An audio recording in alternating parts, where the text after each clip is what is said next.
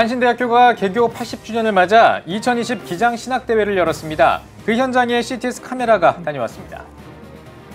기후변화로 인한 위기가 심각한 가운데 기독교 환경교육센터 산림이 탄소 금식 캠페인을 시작합니다. 관련 소식 전해드립니다.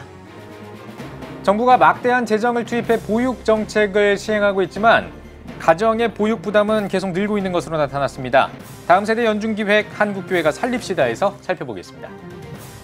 오는 부활주일에 있을 2020 Korea Easter Parade에 대한 기대가 커지고 있습니다. 한국교회 모두가 함께하는 퍼레이드로 자리매김해야 한다는 목소리도 나왔습니다.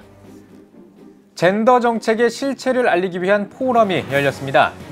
바른인권 여성연합과 바른인권 여성연구소 세움이 개최한 바른인권 여성연합 정책 포럼을 취재했습니다.